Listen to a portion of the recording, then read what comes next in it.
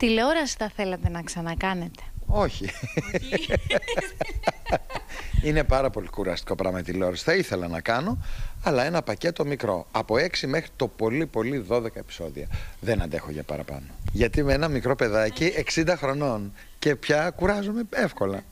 Έχετε βγάλει χρήματα από αυτή τη δουλειά; Φυσικά και έχω βγάλει χρήματα. Λίμον, ανήκω στη γενιά ε, που έκανε τη χρυσή τηλεόραση και έβγαλα χρήματα, έχω σπίτι, έχω εξοχικό και επειδή βεβαίως όπως όλοι οι Έλληνες ε, ουδέποτε φαντάστηκα ότι αυτό το μηχάνημα που έκοβε πεντοχίλιαρα θα σταματούσε ε, κάπου βρέθηκα απροετοίμαστος. Ε, σε πρόσφατη σας ε, συνέντευξη είχατε πει ότι ζω από αλληλεμοσύνη. Βέβαια το είπατε χαριτολογώντας. Τι ακριβώς είπατε. Ναι, φυσικά χαριτολογώ.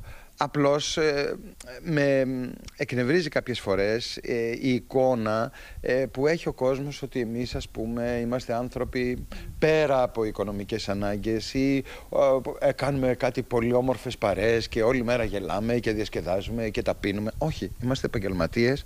Βγάζουμε δύσκολα το ψωμί μας και έχουμε και αντιθέσεις και...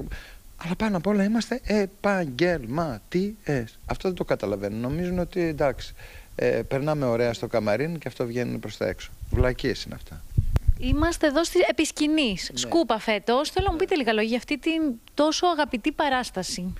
Ε, είναι μια παράσταση, ένα έργο μάλλον, στο οποίο κάναμε, ο Θανάσης και εγώ κάναμε focus περισσότερο στις γυναίκες. Ε, αυτό που κυριαρχεί είναι τα εργαζόμενα κορίτσια, οι εργαζόμενες κυρίες. Και να μου πείτε και για τον κόσμο που ακούει, γιατί πρέπει να έρθει να δει αυτή την παράσταση για να γελάσει με τα χάλια του.